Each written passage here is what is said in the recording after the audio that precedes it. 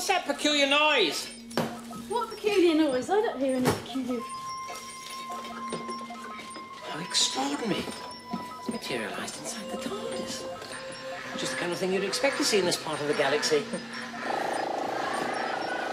Is that just what you'd expect too, Professor? Oh, not entirely, no.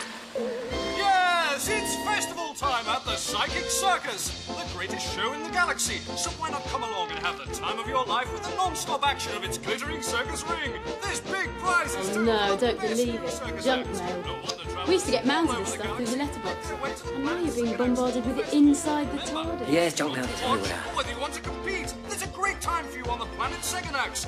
The planet has easy access via our special polyportable landing base. Nice. I thought you'd been interested in the circus.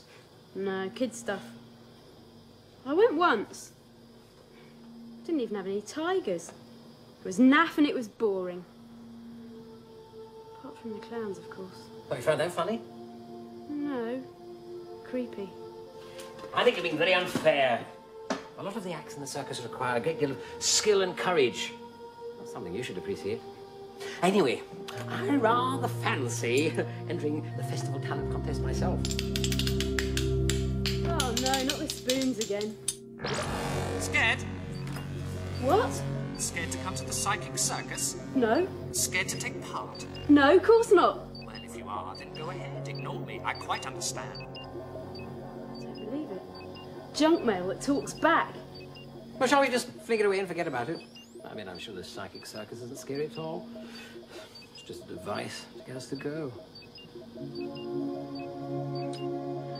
Okay, you win, junk box. I'm not scared of anything.